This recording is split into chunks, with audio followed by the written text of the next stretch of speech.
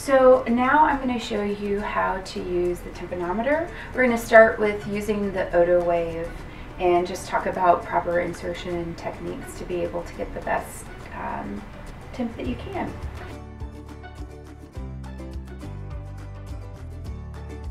So the first thing that you have to do is you have to select your ear tip. And the best way to select the ear tip is after otoscopy to take a look at the ear canal and just figure out what size you feel like would be the appropriate size for the ear. You also want to take note of how the curvature is when you're doing the otoscopy to see if it's uh, curved to one way or sometimes canals will go up or down. And so when you're inserting the or when you're inserting the tympanometer, you want to be able to make sure that you're taking that into account. So just taking a look at her ear, I see about what size she is. I'm going to go ahead and choose my yellow tip.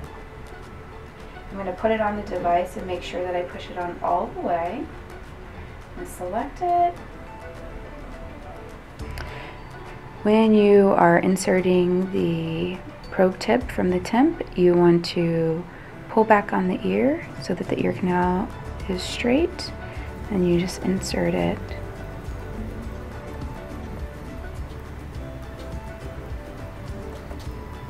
And there we go. Perfect. So afterwards you can just go ahead and either connect it to your PC or print it on your portable printer.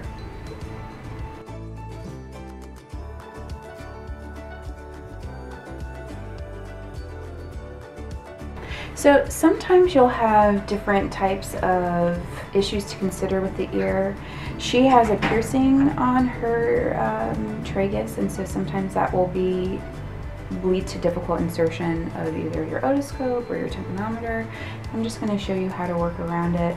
Again, after you've done otoscopy, you just want to look at the ear canal size and again, you're going to pull back and then you can usually just work your way around it. So I'm just going to push it back.